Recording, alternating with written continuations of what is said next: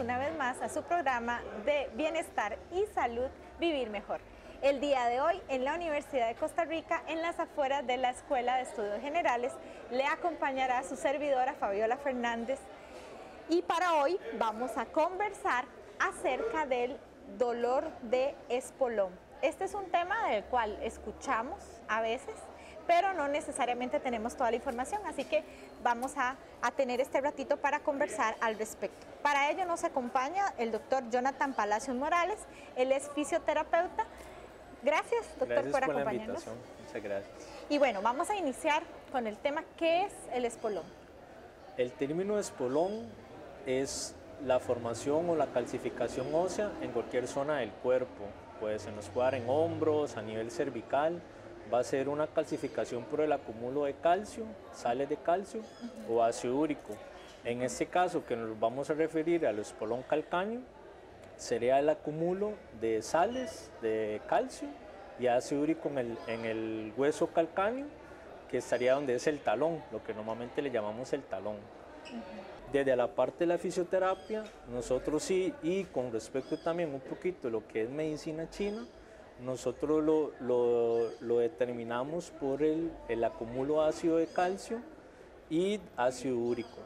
Pero se forma a raíz de que produce una fascitis. Nosotros tenemos en la planta del pie una estructura que se llama fascia plantar.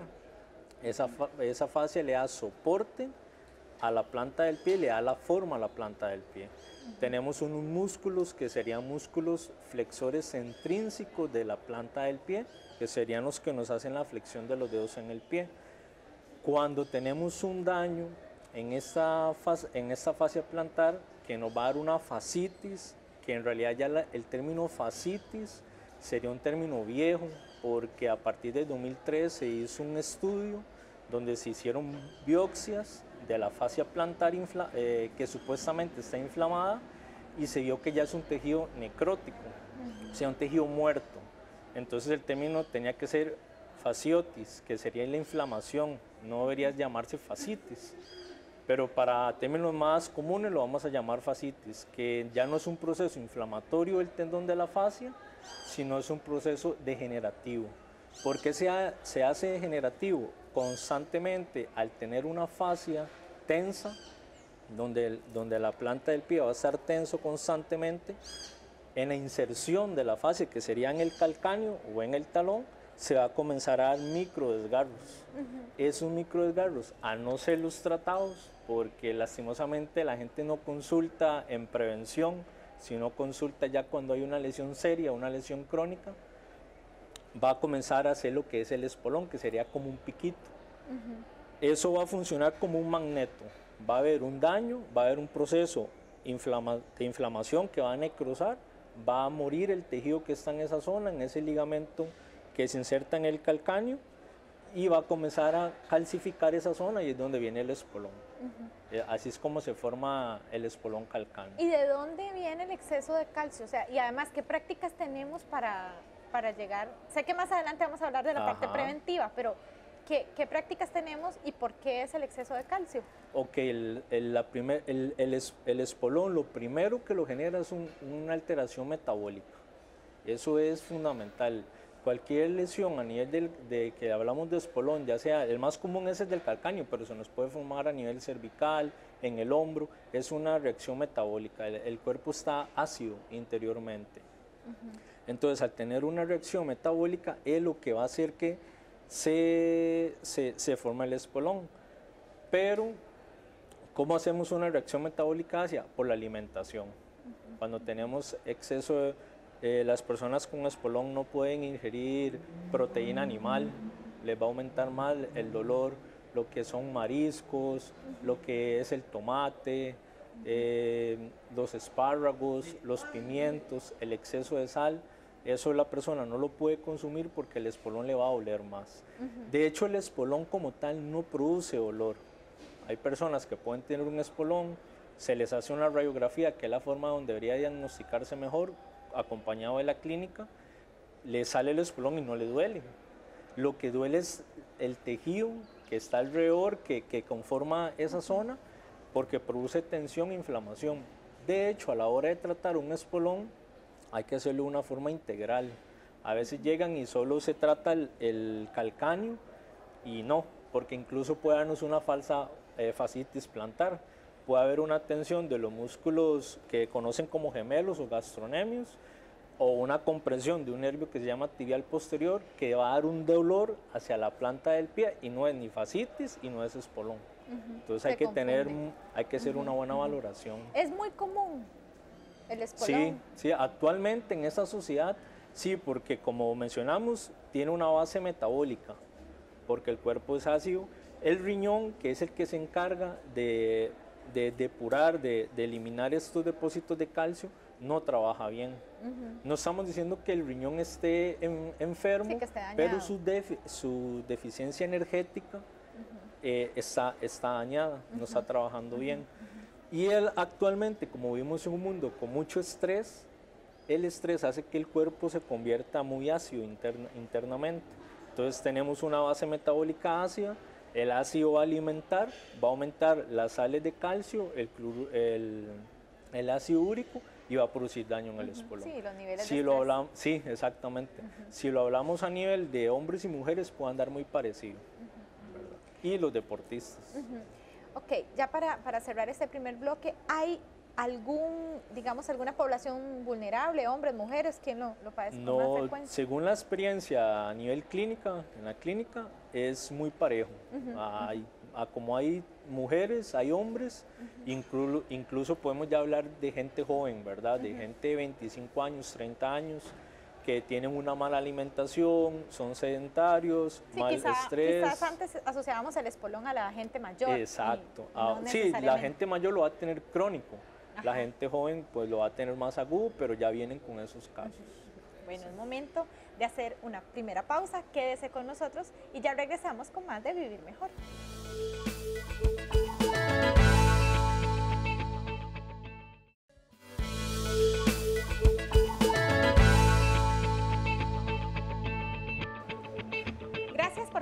Con nosotros en Vivir Mejor.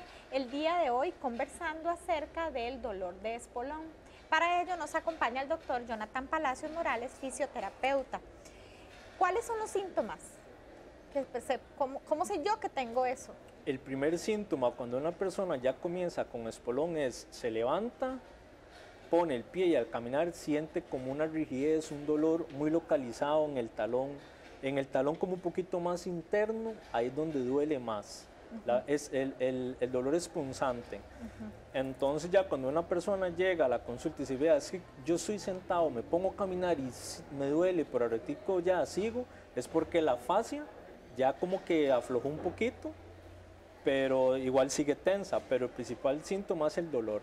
Difícilmente algún paciente llega y te puede haber eh, el talón un poquito inflamado, puede haber un poquito caliente, cambio de color, pero eh, hematoso un poquito, pero el dolor es fundamental, dolor punzante localizado y es muy localizado. ¿Y hay alguna hora del día que se presente más dolor? Cuando la persona está en reposo y, va a hacer una actividad es donde duele. No es como por decir duele más en la mañana, en la tarde, en la noche. Si usted ahorita tiene un espolón, se pone de pie, va a sentir el dolor y conforme camina va a disminuir un poquito. O si está acostado, o si no hay como una hora específica. ¿Y cuáles son las consecuencias? Las consecuencias ah, eh, es que como es en el pie, en la base del cuerpo humano, si usted tiene un espolón va a comenzar a renquear, va a hacer una marcha inadecuada, va a producir problemas en rodilla, hay que agregarle si usted tiene un pie plano o un pie cóncavo, que sería con una curva en exceso, entonces va a producir problemas en la rodilla, problemas en la cadera, eso me puede generar una escoliosis funcional que voy a tener que compensar con mi cuerpo, eso me puede llevar a una tensión cervical e incluso ese espolón me puede llevar a una migraña crónica y la persona la tratan por migraña y hacemos una valoración postural y nos damos cuenta que venía por un problema en el tobillo, por decirlo así, o en el talón, que nos está produciendo esa migraña crónica. Entonces puede alterar todo el estilo de vida de una persona que ya también no puede andar a correr o cosas así, ¿verdad? La actividad física. ¿Se puede eliminar el espolón? No, eh, es una, una patología que En el campo de la terapia física, que es importante dejarlo claro, nosotros no curamos. Nosotros lo que hacemos es, incluso en el caso mío con medicina china, es estimular los procesos autocurativos del cuerpo.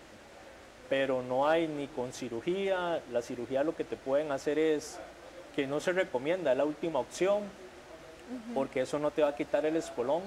Lo que se podría hacer es, la cirugía lo que hacen es cortar un poquito la fascia, limar un poquito el espolón, pero va a haber un proceso inflamatorio. Ese proceso inflamatorio le puede incluso producir un espolón más grande o más molesto, con más dolor del que antes usted tenía. Pero sí se podría reducir el dolor. Sí, no, el, el dolor sí, mejorar la calidad de vida de la persona sí, relajando la parte muscular, relajando la parte de los músculos posteriores de la pierna, haciendo un trabajo integral. Eh, con medicina china se puede trabajar puntos de, como mencionamos que el riñón es el órgano que afecta y que produce mucho daño a nivel del espolón, a nivel metabólico, podemos trabajar con acupuntura o una técnica que se llama moxibunción, calentando unos puntos del meridiano riñón para dar analgesia y relajar la parte muscular. Si relajamos las, las estructuras que producen el dolor en el espolón, la persona puede tener una vida prácticamente normal. Yo tengo como una inquietud, ahora que está como tan de moda correr, ¿verdad? Bueno, y que además hay una gran em, campaña, pensaría yo, de, de, la práctica de la actividad física o del ejercicio, ¿esto puede afectar directamente la aparición del espolón? Sí, en, en deportistas puede aparecer en los que corren ejercicios de salto, puede aparecer lo que es la fascitis o la fasciosis plantar, que es como deberíamos de llamarlo hoy en día. La fascitis se va a dar por el exceso de, trauma, el exceso de tensión que se da en la fascia plantar y vaya generando una inflamación. Hay que tratar la fascitis. Justamente eso es como, la fascitis es como algo muy frecuente en los corredores. Exactamente, en los corredores, en, las mujeres que usan tacones altos, eh, la gente que camina mucho porque es la planta del pie constantemente. Se le puede achacar un poquito también a lo que es el tipo de calzado que usa la persona. Científicamente no está demostrado que sea así, pero podríamos incluirlo por la posición del, calzado, ¿verdad? Pero en, deportistas sí es muy común que dé fascitis, por eso es importante tratarlas, es importante ya sea el automasaje, asistir a fisioterapia, en prevención. Sí es importante aclarar que los deportes siempre van a tener un riesgo de lesión. Eso no quiere decir que porque usted siempre asista así, no quiere decir que no le vaya a dar un espolón. La diferencia es que o le da un espolón de una magnitud más pequeña o puede ser que no, no lee del todo, ¿verdad? Pero siempre la fascitis es como el preámbulo del... Ese es el inicio, es el inicio porque la fascitis se inserta en el calcáneo, se, se hace microdesgarros del ligamento de plantar, ese ligamento va regenerando mal porque no se le está, digamos, fisioterapia o la persona no, no se está alimentando bien, se regenera mal, se va haciendo, se va osificando y se va haciendo el piquito el piquito que uno le conoce como el espolón calcáneo. Esa es como una sensación de que tenemos como un clavo, ¿verdad? En Eso es la que la, gente, lo que la gente refiere, ¿verdad? Como le dices que siento un punzazo, un clavo que me metí en el talón, es eso. Pero entonces, antes de, por ejemplo, ya el plano mayor de una cirugía, ¿verdad? Para evitar, hay todo un proceso de terapia física que se puede... Alimentación, por lo que hablamos de la base metabólica si modificamos la alimentación y damos fisioterapia, y en el caso, digamos, mío, que lo combinamos con medicina alternativa, ya sea medicina japonesa o shiatsu, e incluso como homeopatía se puede combinar, la persona no tiene que llegar a una cirugía, no tiene que llegar a infiltrarse y va a tener una calidad de vida prácticamente normal.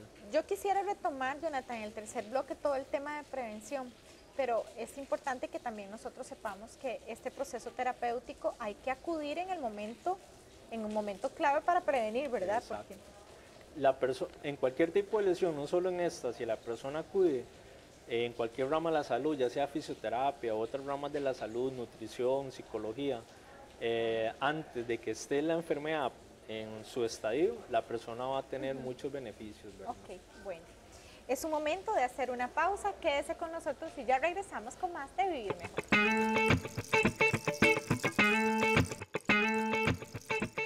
Hola, bienvenidos a Salud Movimiento. Mi nombre es José Enrique Brenes, soy educador físico y les voy a mostrar la ejecución de la sentadilla.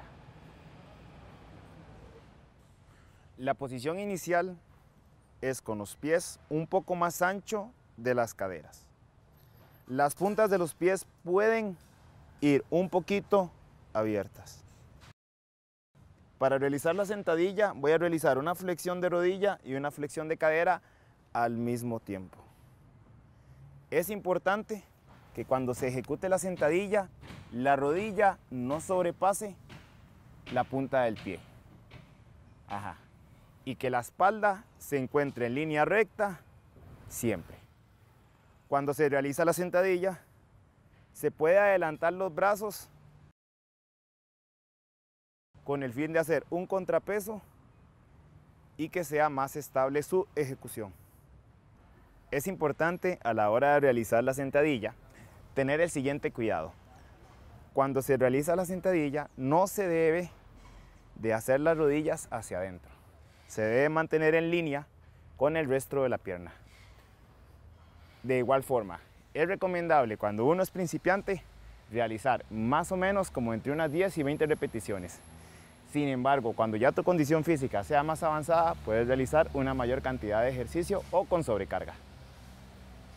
Como ejercicio preliminar a la sentadilla, podemos realizar en una superficie plana la sentadilla isométrica, la cual consiste en un apoyo y una flexión de rodilla de 90 grados aproximadamente. Se puede sostener esta postura por más de 30 segundos. Sin embargo, si eres principiante, te recomiendo entre 20 y 30 segundos. Es importante antes de realizar ejercicio en la mañana no hacerlo en ayunas. Los invitamos a continuar con Vivir Mejor.